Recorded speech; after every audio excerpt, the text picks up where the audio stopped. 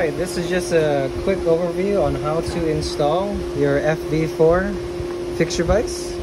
Your vise is going to come as shown here with the following fasteners, 5 half inch 13 flatheads, um, 4 half inch 13 socket head cap, 2 dowel pins. So the first thing you're going to want to do is remove the top jaw or the fixed jaw from the base this is a jack screw. So the reason why this is here is when you put your your fixture or your, your fixed base down, sometimes, I mean, it gets kind of hard to match these dowel pins up and all the tolerances. So sometimes it can get kind of, you know, stuck. And so what this does is, let's see if I can show you. This is a flat tip um, set screw. So as you screw that out, it will help push this up. So this sort of um, jack screw is found on a number of work holding solutions. So I've just incorporated one here. So you're gonna put your two pins in first. And then you're gonna put your base down. And then you're gonna put this flathead screw in. This has a little bit of a unorthodox design because you can see it's kind of non-accessible once you put the top jaw on. And the reason why this is here is that as you clamp something, this whole assembly is going to want to deflect back. And so I put this here to reduce the amount of deflection. Now it's less than a thousandth of an inch and I tested it. So you're going to want to crank this down to about 50 foot-pounds. This is just for demonstration purposes only, but 50 foot-pounds is a nice um, starting number. Then you're going to put your top jaw on. So.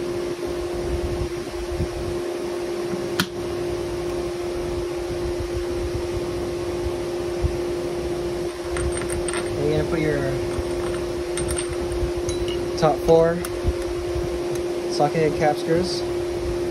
And the jaw itself also includes um, a jack screw. It's smaller at quarter 20. I'll show you in a minute.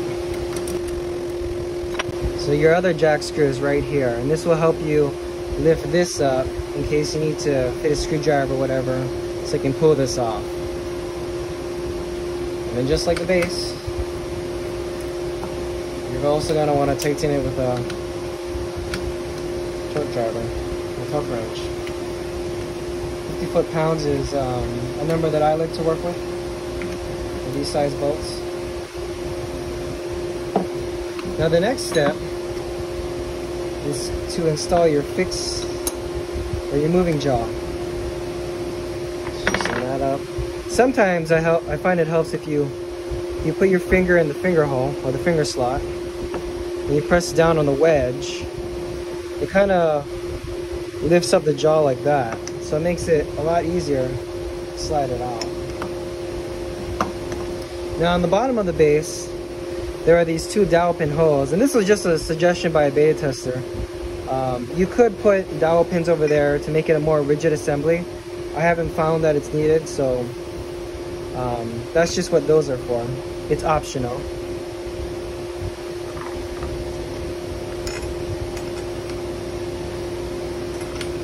Next, you're gonna put your flathead screws in. You don't really need these back screws,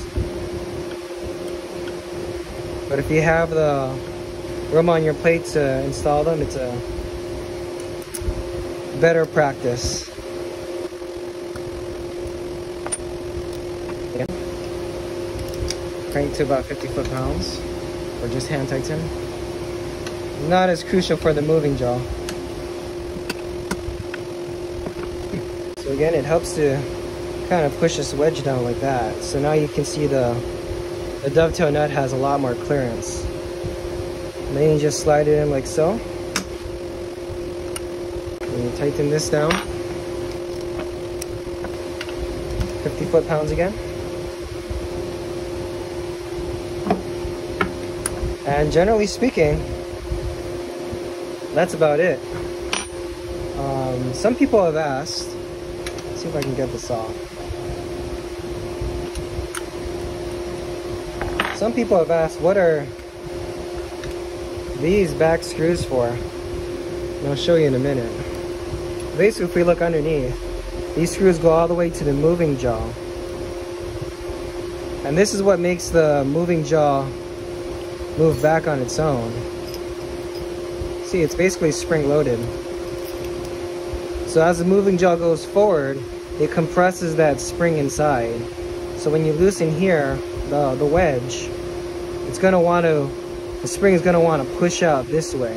And that makes the moving jaw move back on its own. So you don't have to keep pulling back your jaws by hand and sometimes it scrapes up your, your hands if you if you have to do that with other other work holding solutions.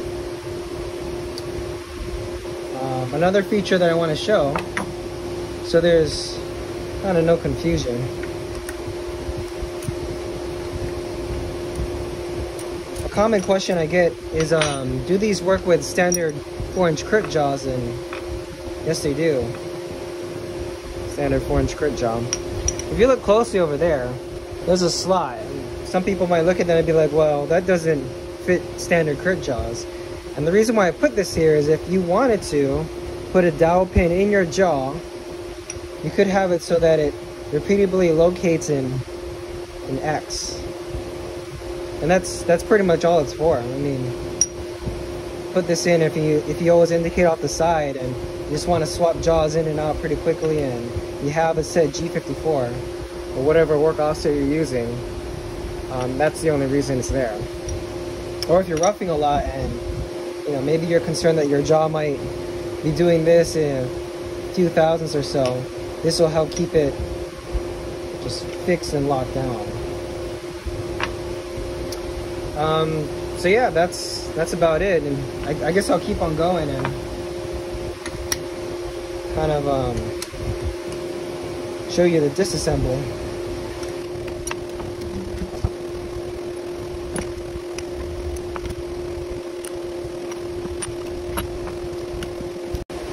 This will demonstrate how um, you could utilize the jack screws.